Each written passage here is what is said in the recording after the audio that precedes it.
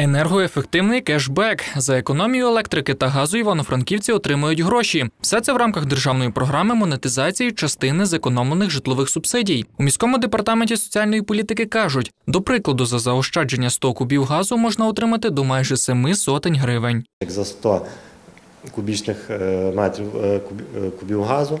Тобто це є десь порядка 695 гривень максимальна сума. А якщо стосу- стосується світла електроенергії, то сума еквівалентна не більше як 150 кВт годин світла. Це є 135 гривень, тобто сума, яка може бути відшкодована незалежно від того, скільки людина зекономила. Скажімо, якщо економія складала навіть і 200, 300 чи 1000 кубів газу, повер- поверненим буде кошти тільки за 100 кубічних метрів газу.